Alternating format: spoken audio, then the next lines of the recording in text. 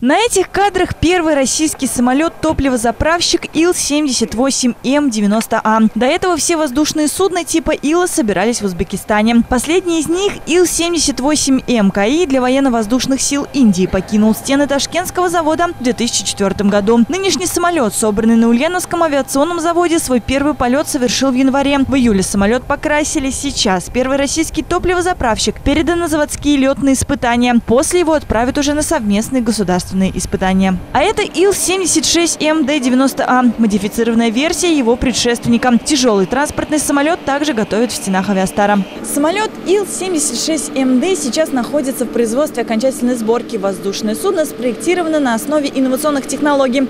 Самолет оснащен мощным двигателем. Здесь усиленное шасси и тормозная система. А также у самолета будет стеклянная кабина.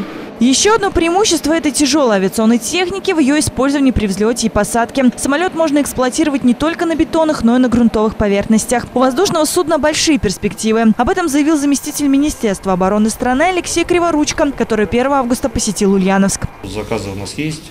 Надо обсудить некоторые вопросы технического характера, ценового характера и постараемся в этом году э, уже выйти, может быть, на какие-то новые договоренности. Замминистра ознакомился с этапами работ над воздушными суднами стратегической важности. Прошелся по производственным площадям авиастара. Далее принял участие в совещании, закрытом от объективов фотоаппаратов и телекамер прессы. Занавесу тайн диалога лишь после приоткрыл губернатор Сергей Морозов, который тоже присутствовал на совещании. Мы готовы не только э, авиастару, авиационно-промышленному комплексу Ульяновской области э, продолжать оказывать меры поддержки, но и полк военно-транспортной авиации, который сегодня работает здесь у нас. Мы готовы взять на себя обязательства обеспечить персонал, гражданский, э, военный персонал, членов семьи, э, не только э, хорошими рабочими местами, благо, что у нас для этого есть все основания, но и созданием новых детских садов, дошкольных образовательных учреждений, если понадобится, то и местами в самой современной школе, которую мы строим здесь.